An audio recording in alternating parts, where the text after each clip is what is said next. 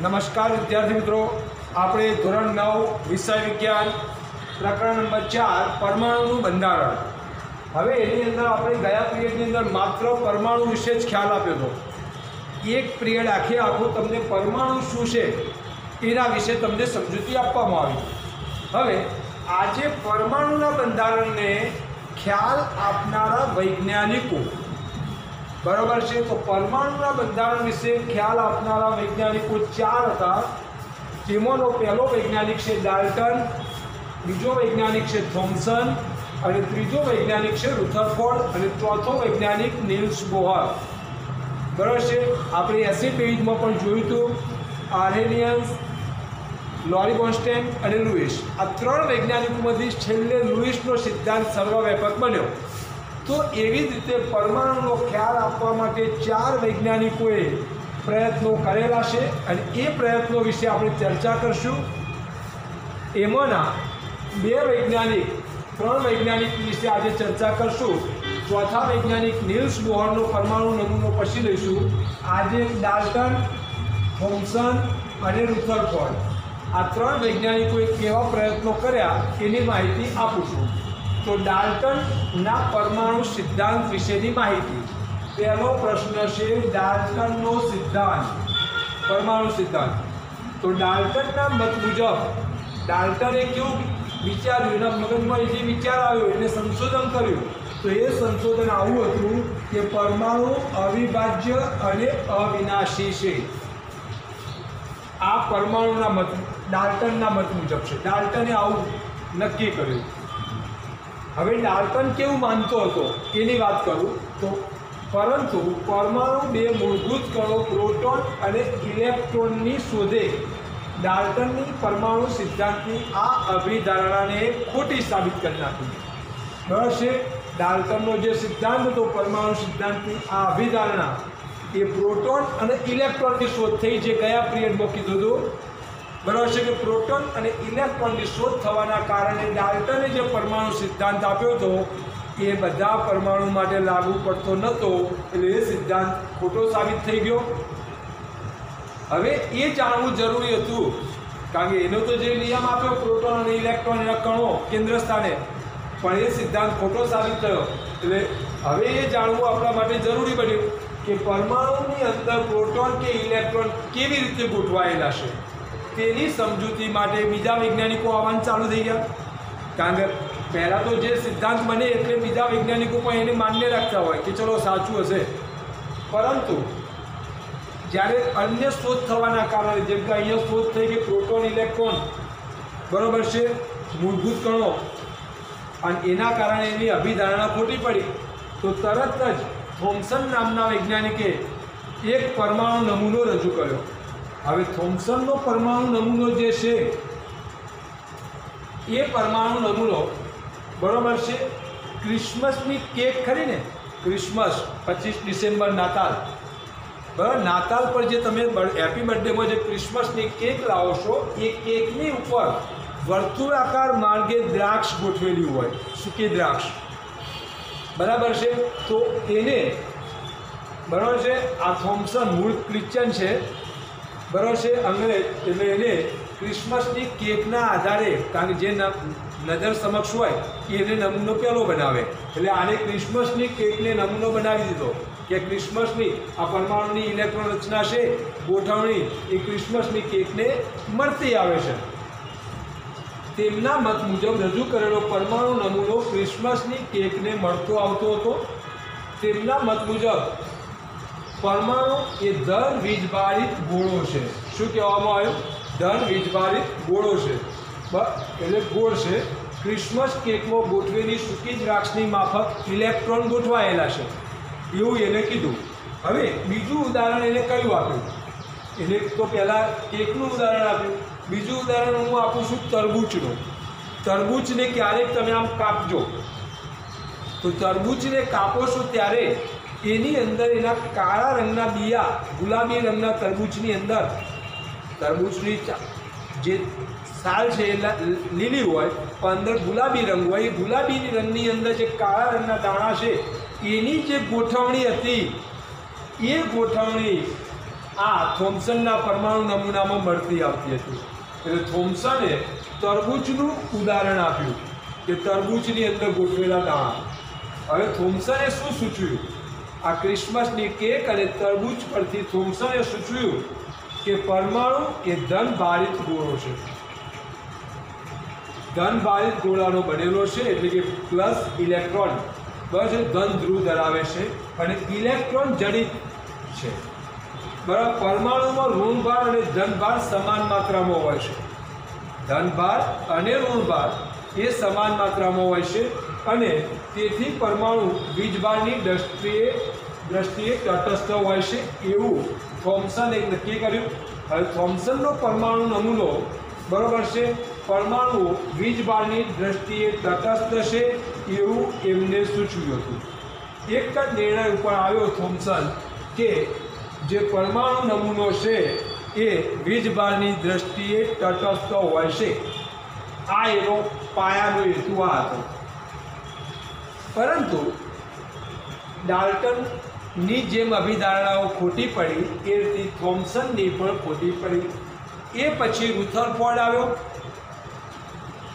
બરોબર છે? કારણ કે થોમ્સને ન્યુટ્રોનનો કોઈ જગ્યાએ ઉલ્લેખ કર્યો જ હતો કેન્દ્ર સ્થાનનો હવે એ પછી આવ્યો રુથરફોર્ડ તો રુથરફોર્ડે પરમાણુ નમૂનામાં શું કીધું? તો ધ્યાન આપજો, ઘણો લાંબો પ્રશ્ન છે. મેં એને શોર્ટકટમાં લખીને અહીંયા શોર્ટકટમાં સમજાવીશ. બરાબર છે? હવે, અર્નેસ્ટ રુથરફોર્ડ. બસ રુથરફોર્ડનું પૂરું નામ છે અર્નેસ્ટ રુથરફોર્ડ.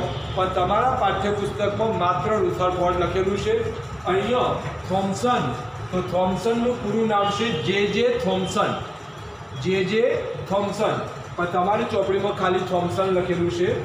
બરાબર છે? હવે અર્નેસ્ટ રુથરફોર્ડ એ પરમાણુમાં ઇલેક્ટ્રોન કેવી રીતે ગોઠવાયેલા છે એ જાણવા માગતા હતા.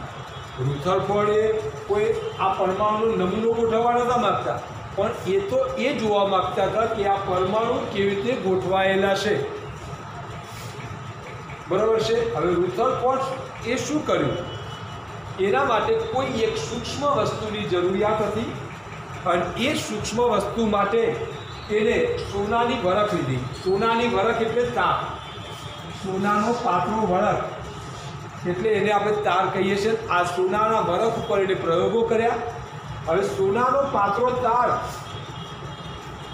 હું તમને કહું કે એક તોલો સોનું હોય ને, એક તોલો સોનું, તો એમાંથી વીસથી બાવીસ હજાર કિલોમીટર લાંબો પાતળો તાર બનાવી શકાય. કેટલો? હા, બોલો બોલો, સાચું છે. વીસથી બાવીસ હજાર કિલોમીટર લાંબો તાર બનાવી શકાય. એવરેજ ગણવા જઈએ તો એક ગ્રામ સોનામાંથી બે હજાર કિલોમીટર લાંબો સોરી મિસ્ટેક થઈ. બે કિલોમીટર લાંબો તાર બનાવી શકાય. એક ગ્રામમાંથી બે કિલોમીટર, એટલે કે એક તોલો સોનું હોય, એટલે કે દસ ગ્રામમાંથી વીસ કિલોમીટર લાંબો તાર બનાવી શકાય. હજારમાં નહીં હો ધ્યાન આપજો ચલો, હવે, એ તો થોમ્સનનું આવે. ચાલો હવે તેમણે શક્ય એટલું પાતળું સ્તર સોનાના વરખ માટે પસંદ કર્યું એટલે શક્ય એટલું પાતળું સ્તર એટલે કયું સ્તર પસંદ કર્યું હશે? આ એક ગ્રામ સોનામાંથી બે કિલોમીટર લાંબો તાર બનાવ્યો અને એ તારની ઉપર સોનાના વરખના એક હજાર પરમાણુ જેટલી જાડાઈ ધરાવતો હતો. આ સોનાનો જે વરખ બનાવ્યો તેની અંદર એટલો પાતળો તાર હતો છતાં પણ તેની અંદર એક હજાર પરમાણુઓ ગોઠવાયેલા હતા. હવે આલ્ફા કણો દ્વિવીજભારિત હિલિયમ આયનો છે. હિલિયમની સંજ્ઞા તમે જાણો છો કે એચી બરાબર છે? દ્વિવીજભારિત છે. એની ઉપર બે ઇલેક્ટ્રોન રચના બે, એટલે પહેલી કક્ષામાં કેટલા ઇલેક્ટ્રોન હોય? બે. તેનું દર ચાર મ્યુ. અને આપણે આને મ્યુ કહીએ છીએ. અને બોલવું હોય તો આપણે ચાર અણુભાર અણુભારની સંજ્ઞા છે.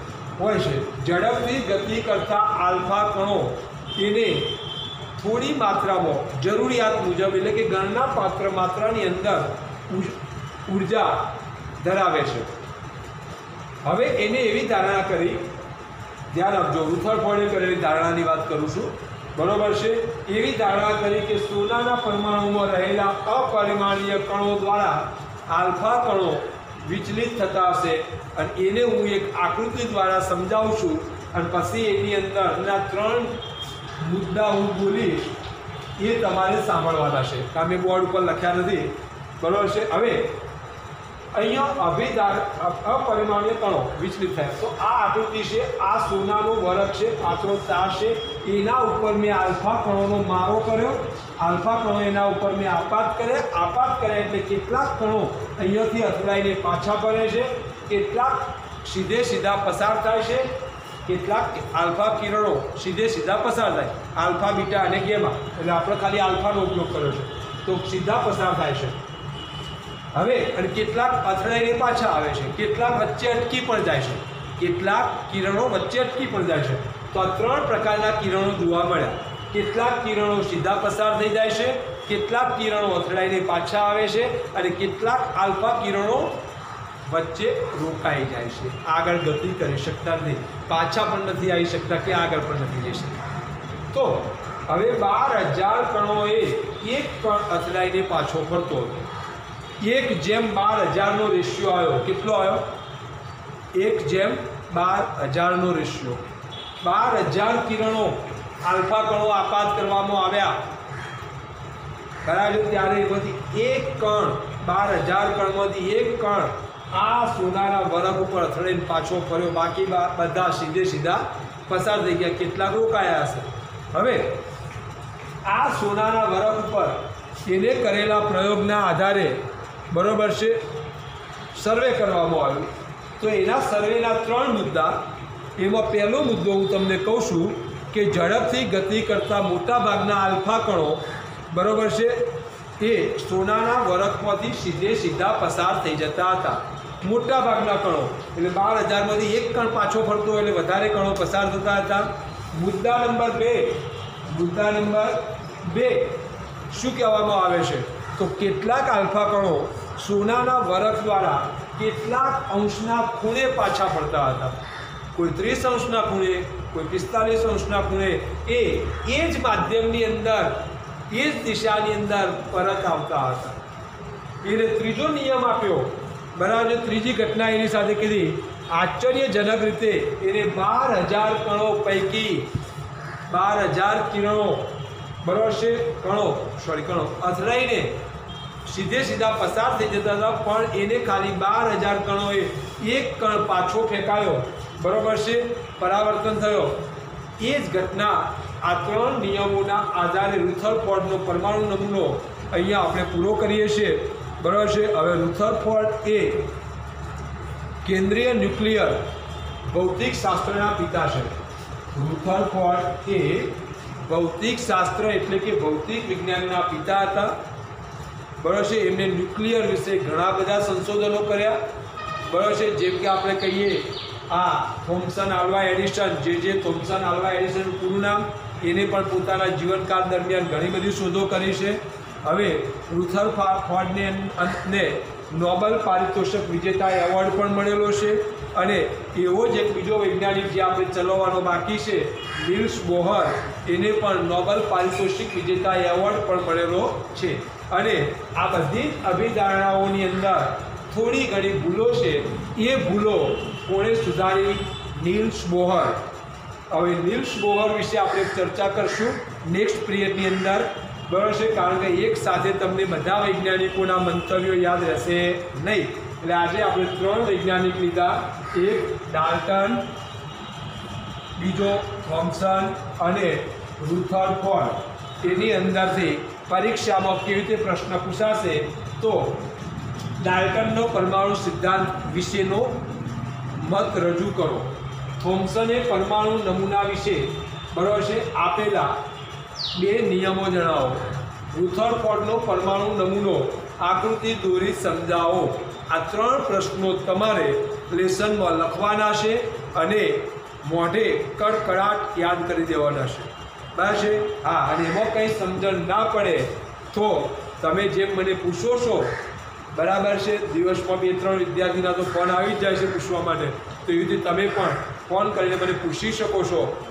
કોઈ પણ શબ્દ ના સમજાય, કોઈ સંજ્ઞા ના સમજાય, તો ફોન કરીને તમે મને પૂછી શકો છો. આ જ મારો મોબાઈલ નંબર છે. જય હિન્દ, અસ્તુ. Thank you.